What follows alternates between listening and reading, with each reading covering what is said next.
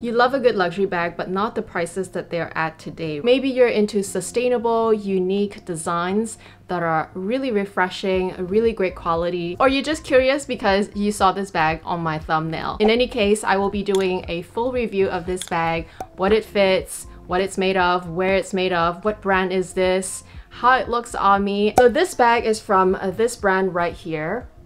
I believe they are pronounced Mlouye. If you're from Istanbul, then let me know if I pronounced it right because this is a brand from Turkey, Istanbul, and this was the original packaging. This was the beautiful dust bag that it came in. It's green and there's the little logo right there. The inside of the dust bag is really soft. It has that sort of very soft material. We've got the little M emblem right here. On this side, there's also a little bit of the branding here. You see how this bag is black on the inside and beige and white on the outside, right? With a beautiful top handle and a strap. Well, that's not just it. It actually is reversible. so I just literally reversed the bag and it became black. So you've got two designs in one. And on this side, you can wear it crossbody with this long adjustable strap, or you can also double it up, right? Just like that and wear it as a shoulder bag. This bag is called the Harley and I got it in the color Cortado. I was really, really attracted to the fact that it was black on one side, beige on the other side because I love the idea that I have a nice bright bag on one side and a black bag on the other, especially on days that I don't want to ruin and color transfer my bag, then I'll just turn it into the black side and wear this side and crossbody on black is just perfect. No color transfer, no worries of dirtying your bag. It's so smart. And on days that I just want a prim and proper top handle and kind of like a neutral, nice color, nice rich color, then I just turn it onto this side. And I still have access to the strap actually. The strap is very versatile. I can still wear it crossbody on this side. As I said earlier, Mlouye is an Istanbul brand started in 2015. The founder and creative director also had a background in industrial design. Hence the reason their bags have such a nice sort of architectural shape. One of their core values is also sustainability. The focus of this brand is not only on the quality of the material, but also on the design and sustainability with architectural aesthetic, unexpected shapes and details at a contemporary price point. Their headquarters is now split between the US and Turkey. All their production is made in-house in their Istanbul facility with LWG certified Italian leather. LWG is the leather working group. They use environmentally certified and responsible leather. Their company is also focused on developing innovative ways of designing their product,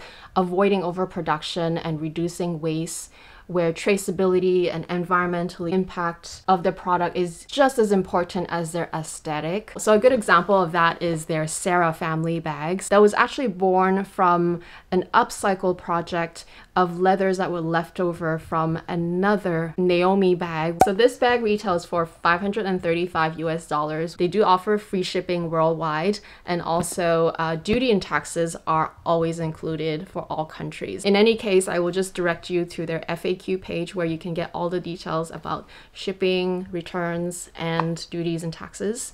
Uh, but the gist of it is that if you're just worried about the initial cost, you don't have to because that's all included in their pricing already already. The Harley comes in six different color combos at the moment. I think these are their newest summer, uh, spring summer colors. And like I said, this bag has two personalities. And because this bag is reversible, you can basically take it from day to night. You might be wondering how the compartments work. They're very simple in a way. And so as you can see on top right here, we have one compartment on this side with a magnetic closure. And this other side also has the same compartment, but it's a zippered closure. So you effectively have one side that is more secure where you can put your wallet and your keys. And on this side, you can put your phone for easy access. And that is exactly what I did. I have my phone and my hand sanitizer right in there. So it's super easy access and it's really a large compartment. You don't have to worry about your large phone not fitting. It's just not possible because it's such a good size bag and it just fits right in. And because it's a magnet, it's so easy to get in and out. The interior is also fully lined in that micro suede. It measures 24 and a half centimeters on top across like this and about 26 centimeter on the bottom. So it's slightly narrower on top. And the height of the bag from here to here is about 17 centimeter. And you've got these four pockets, four distinct pockets of your bag and I guess this would be the width of your bag. It would be around 16 centimeter wide from here to here. When we flip it over, this handle is now hidden and becomes sandwiched. On this side, we've got the logo right here. It's very subtle. And there's no logo on this other side, it's just plain. But essentially, you're looking at the same side profile, but just reversed. And this side doesn't have the top handle, but it does have the gold hardware D-ring. It's kind of that matte hardware which holds the strap. And this strap is completely detachable. It has five different settings and I have it in the middle setting right now. It also has these little loops for securing the strap and even the underside of the gold hardware here where you adjust the strap length. On the other side it has the logo embossed on the hardware as well. So there's a lot of little details. The shoulder strap drop right now in the middle setting 19 and a half inch or 50 centimeters. So you can technically make it slightly longer or slightly shorter since I'm right in the middle. I like that you can easily just pull the middle and make it into a shorter shoulder bag because this is really, really pretty as a shoulder bag and it sits comfortably on your shoulder as well. The leather on the strap is feels the same as the leather on the body of the bag. It's just a really nice, soft. I thought it was calfskin at first, but it says that it's Nappa leather. So that would make it a lambskin, although this is a durable, a really durable lambskin. It's sort of that in between calfskin and lambskin softness. You can feel that it's sturdy enough to endure some weather conditions. Really nice and soft a smooth leather with a very very slight grain and it's very durable. I have taken this out into the rain not pouring rain but it was drizzly but you can just easily use your finger to wipe it off or if you have a Kleenex to wipe it off. Not extreme weather of course but a little drizzle and a little snow should definitely be fine. Let's go through what we have in the bag because you'll be blown away at how much this bag actually fits. As you can see it has my sunglasses it also has my phone. Also, I have my hand sanitizer, which is a spray bottle hand sanitizer that was sitting upright in the bag.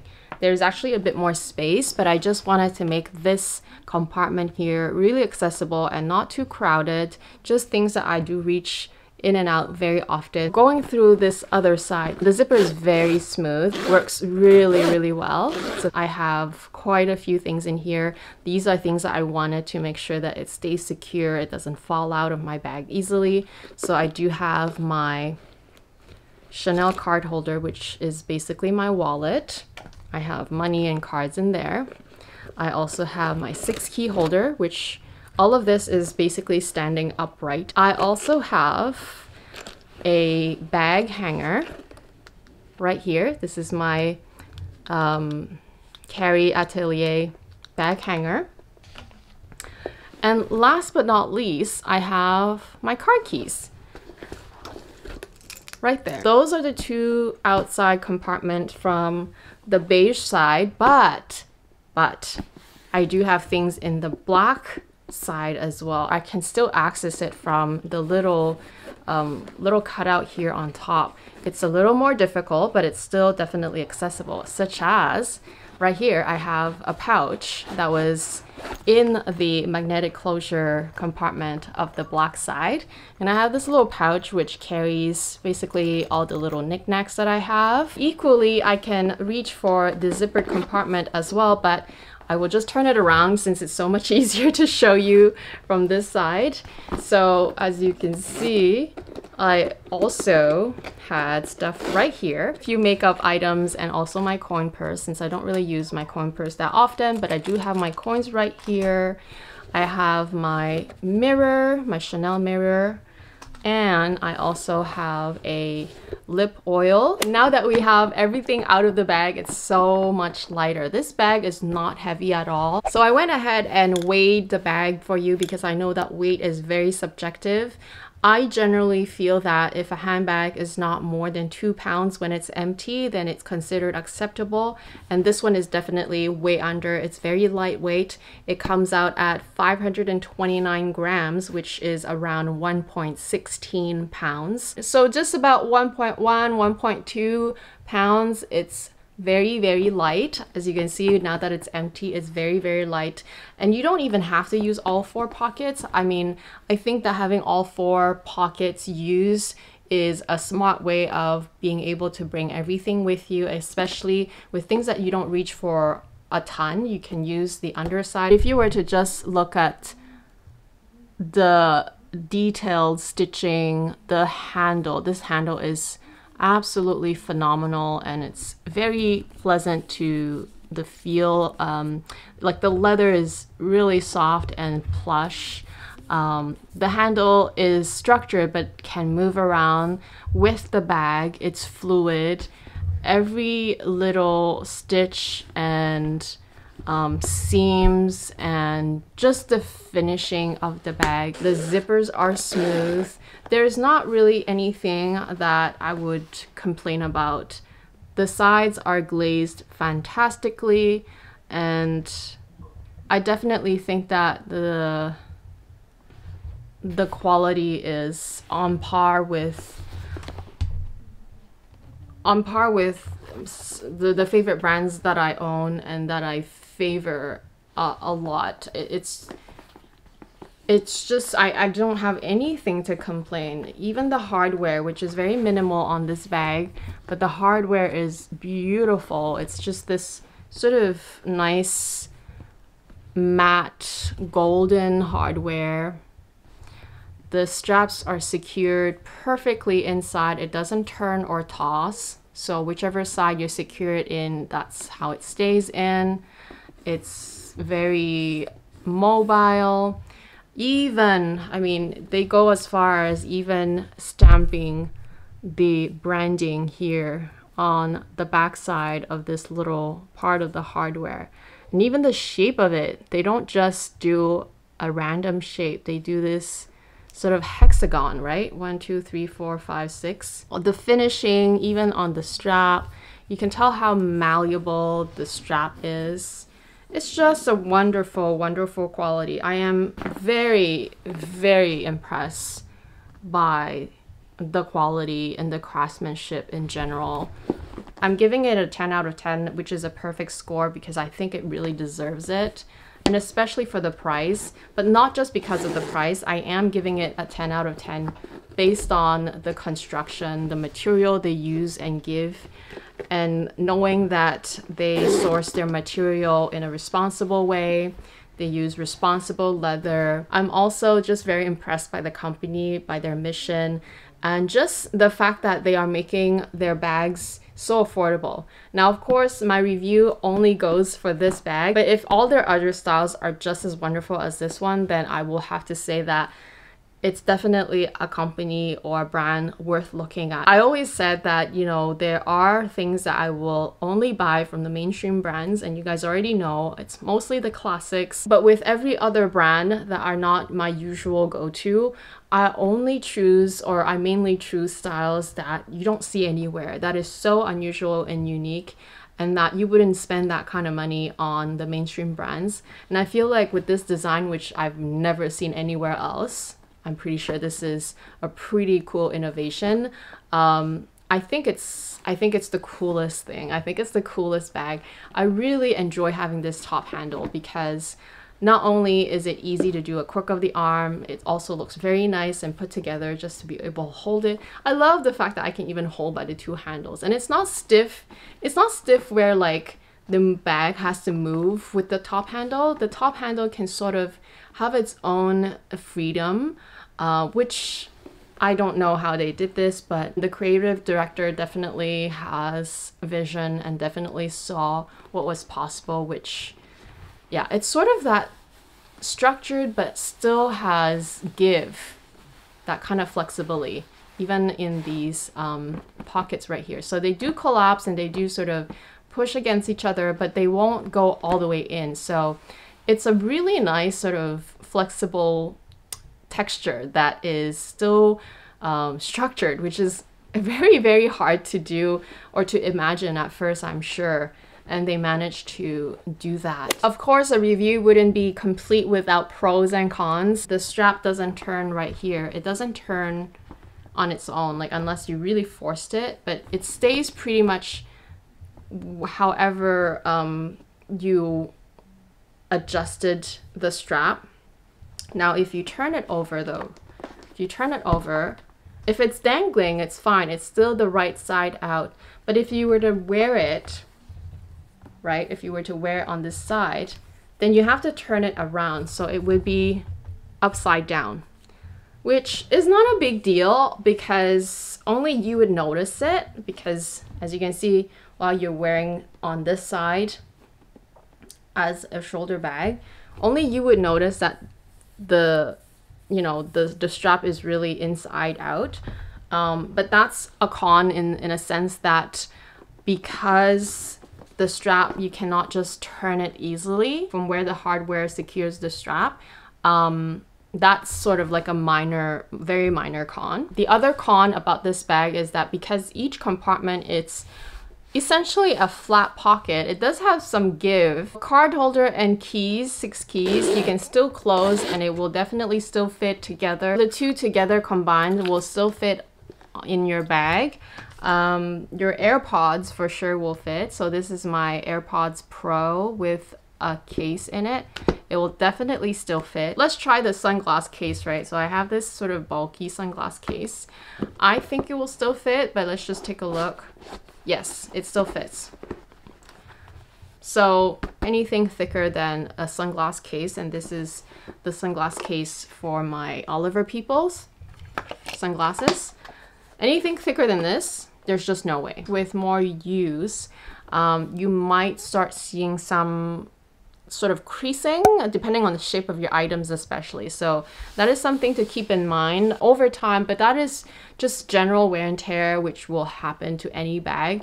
But just keep in mind that because this is sort of like that soft structure it's it's still structure but it's a soft structure it's a semi structure that uh, over time with the different shapes of your items in your bag and with more and more use, it might start getting those creases. As far as cons and wear and tear, that's all I can tell you.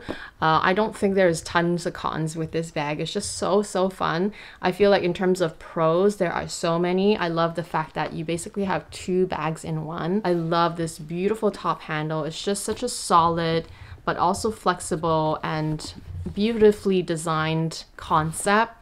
Um, I love the fact that they thought about one secure pocket and one easy access pocket, but doesn't mean that because this is inside that you don't get to use it. You still can put your things in it, which I did. Uh, it will make your bag a bit heavy, but that's because I have so many things inside.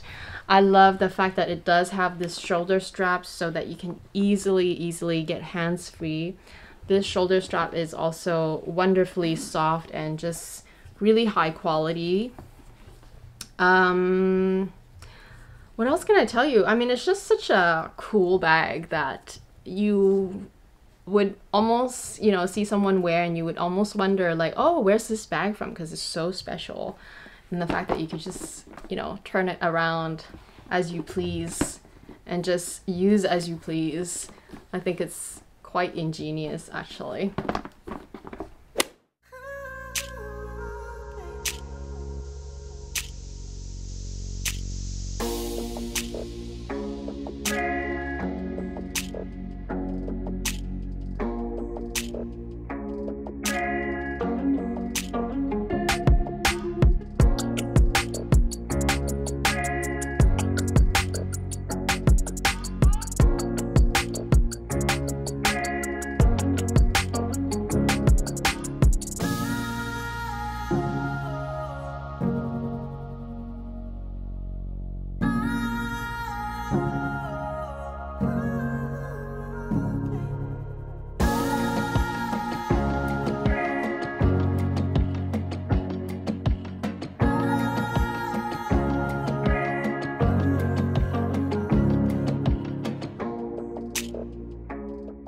Let me know what you think of this bag and if you've heard of Mlouye yourself because this is definitely my first time hearing about this brand. I think they did a wonderful job on this bag and I definitely think that if they keep doing what they do, which is to innovate and to do these really funky architectural structures and um, folding and just reversible it's just gonna bring their brand to the next level and it's definitely a brand to be watching out for.